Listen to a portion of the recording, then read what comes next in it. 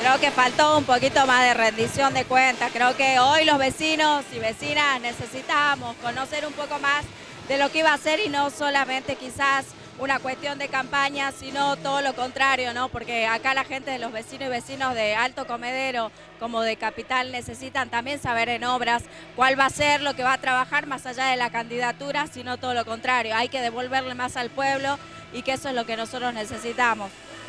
Mira, me parece que el intendente habló solo para una parte de la ciudad y los barrios populares, los empleados municipales que tienen que tener dos o tres laburos porque no llegan a fin de mes y la situación del transporte que va a recibir otro decreto de él para aumentar el boleto no estuvo mencionado. O sea, se repite lo mismo, se habla a una parte de la ciudad, pero a la mayoría no se la tiene en cuenta. Bueno, yo creo que ha sido un balance importante, sobre todo en lo que ha venido desempeñando la gestión en el cargo del Ejecutivo.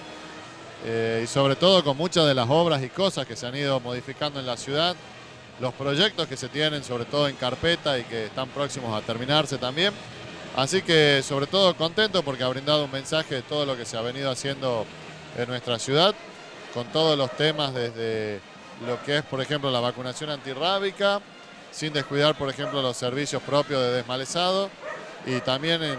pensando justamente en la ciudad de serlo mucho más inclusiva con el tema de lo que son los ascensores urbanos para la gente con discapacidad, nuestros adultos mayores.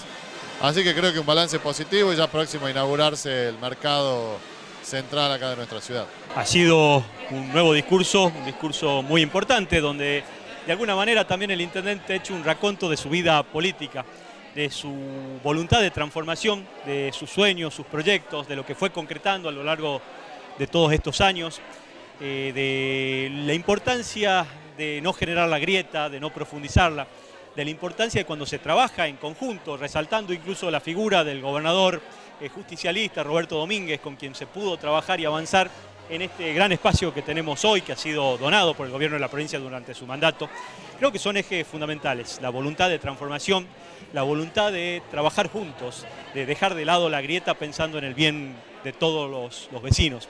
Y en ese sentido ha hecho anuncios importantes que creo que son de trascendencia para la ciudad, más ascensores urbanos, más proyectos para seguir pavimentando San Salvador, para seguir iluminando San Salvador, para seguir generando espacios de encuentro como este multiespacio que ahora vamos a tener lugares similares en Chijra, en Mariano Moreno con sueños claros y pedidos. También ha hablado de la necesidad de contar con una ley de coparticipación municipal me parece que es un punto trascendente, sobre todo ahora que vamos a tratar una nueva reforma constitucional. Así que el discurso muy importante y por supuesto con la mayor de las expectativas para este año.